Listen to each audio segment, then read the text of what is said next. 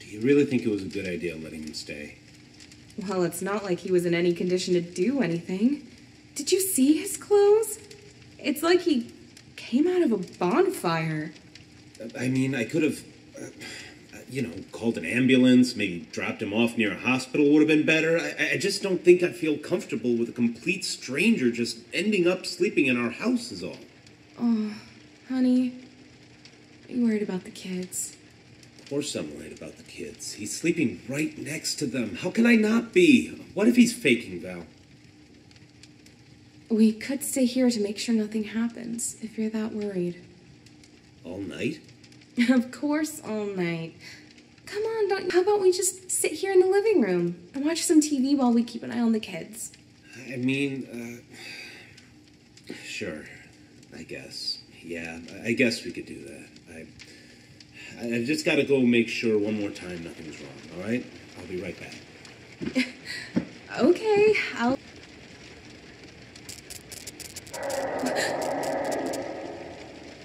What, what was that?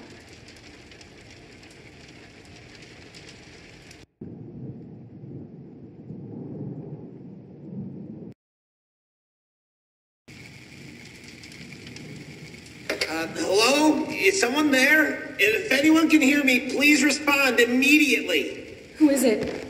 What in God's name is going on here? Oh, uh, it, it's me, Michael. Uh, look, there's no time to explain. Just know that you are in grave danger. Is Scott there with you? My husband? No, he isn't. He, he just went to. What do you mean I'm in danger?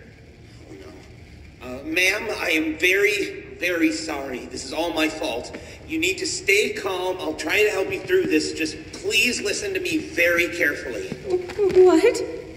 Listen, there are monsters that are going to arrive to your room real soon. If they see you, you are dead. Do you understand that, ma'am? It is very important that whatever occurs, just don't let them see you. All right? I. I know, I know. Look, just. You're in the living room, right? Try to focus on the three entrances behind you. The exit to the house should be locked, and they won't come through there. If there are any monitors nearby, then they should be forced to produce a camera system for you. Ma'am, is the TV in your living room turned on? Uh, yes, but it's filled with static. Uh, all right, uh, please keep an eye on it. It should help you. Look, they usually come from either the left side or the right side. You have nothing to stop them, so if you see one of them about to enter the room, just hide. Hide? Hide where? Just look, just stay out of sight, okay? Yes, if they try to come in, just move somewhere they won't be able to see you, okay? Well, I don't know which one will come from which side, but if you look at the TV, you might be able to tell by yourselves.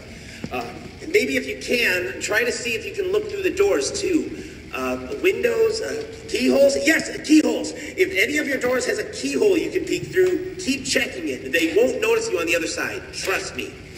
Uh, so yes, I, I can't stress this enough. If anything comes through those doors, hide. Just I was there when he found you, Michael. He never said his name. How do you know? Michael?